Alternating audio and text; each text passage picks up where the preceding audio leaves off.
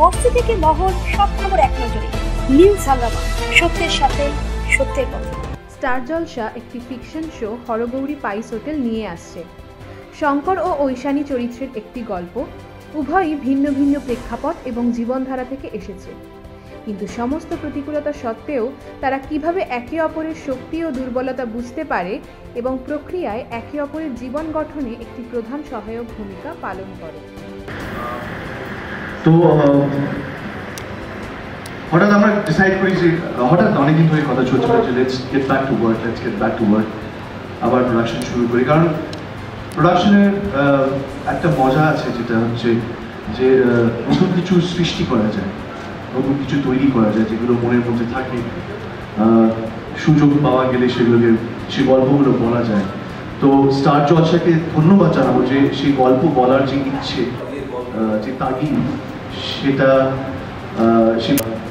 যাকে দেখে মনে হয় পাওয়ার মানে একটা যদি পাঞ্চ করে বা একটা যদি সে লাঠি দিয়ে মারে বা যদি হেসো স্টোরি তো যেহেতু আমি প্রচুর ছেলে মেয়েকে লঞ্চ করেছি বোধ হয় আমার থেকে বেশি মনে হয় ইন্ডাস্ট্রিতে কেউ লঞ্চ করেনি নতুন হিরো আমার মনে হয় আমি শিওর এখন তো তখন আমার শো করতো সেখানে দৃশ্য ছিল কাছে দেখে তো মারছিল তো ওটা থেকে মিটিংটা করব। না তুমি যাবে?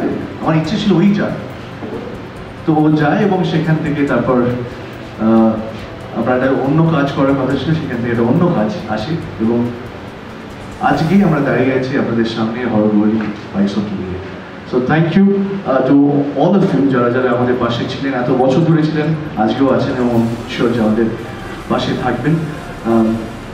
এই গল্পটা আহ, অন্যরকম নয়। সবাই বলি না আমরা ভীষণ অন্য আহ, আমরা একটা অন্যরকম গল্প বলার চেষ্টা করছি। এই গল্পটা আমাদের খুব চেনা একটি গল্প। আমার, আপনার, আমাদের সকলের গল্প। এটা অনেকে বলার সাহস পায়, অনেকে পায় না। অনেকে বলতে চায়, বলতে পারে না। অনেকে সুযোগ পায় না, বলতে হয়তো ইচ্ছে হলেও সুযোগ পায় না বলার।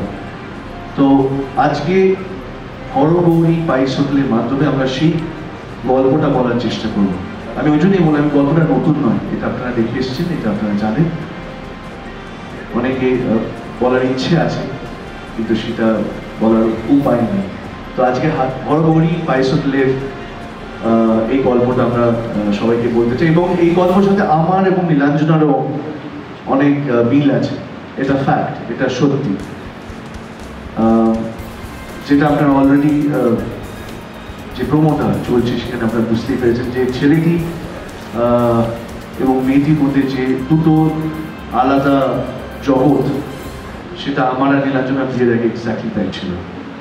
ও বম্বের মেয়ে Bombay born brought up not born but brought up in Bombay আমি কলকাতার এক চেক নেই আছে হ্যালো হ্যালো আছি হ্যাঁ। তো আমি কলকাতার ভেদু বাঙালি এবং আমি ইংরেজি খুব ভালো বলতে পারি না, আর উনি মাস্টার্স ছেড়ে দিয়েছেন ইংলিশে। আমি আমার হিরোর মতো রান্না করতে পারি না, সেটা এখন শিখে গেছি, কারণ বম্বে দেখা থাকি বলে করতেই হয়। বাট এই গল্পটার সাথে আমাদের জীবনের অনেকটা মিল আছে। তো সেই গল্পটা বলার ইচ্ছে আছে আমাদের। আমি বড় হয়ে উঠেছি এরকম একটা বাড়িতে।